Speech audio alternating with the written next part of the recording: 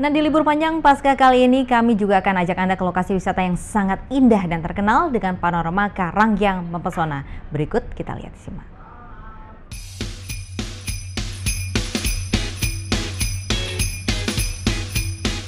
Pantai Karang Taraje salah satu pantai yang ada di wilayah selatan Lebak, tepatnya di Kecamatan Bayah, Lebak, Banten.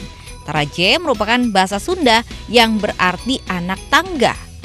Bentuk karang yang bertangga-tangga membuat pantai ini semakin indah, terlebih di saat datangnya ombak pantai. Jika air pasang, deburan ombak yang sampai ke karang akan menjadi pemandangan air terjun karang. Di lokasi ini juga banyak terdapat spot untuk lokasi pemancingan di bawah karang.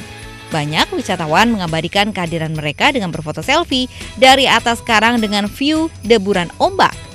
Beberapa tahun silam pantai di daerah selatan Lebak Banten ini sempat tidak dilirik para wisatawan karena akses jalan yang tidak bagus. Namun kini, pemerintah Provinsi Banten sudah memperbaiki jalur wisata tersebut sehingga wisatawan dari Jawa Barat, Banten, dan Jakarta dapat dengan mudah mengakses transportasi menuju objek wisata tersebut.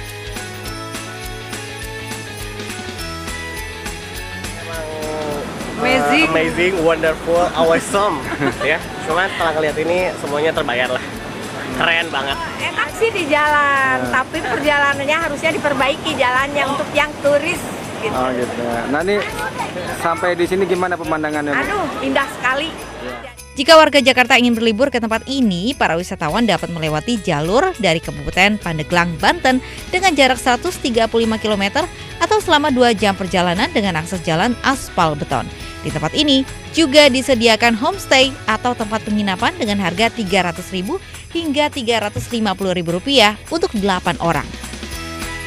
Dari Lebak Banten, Iskandar Nasution, MNC Media memberitakan.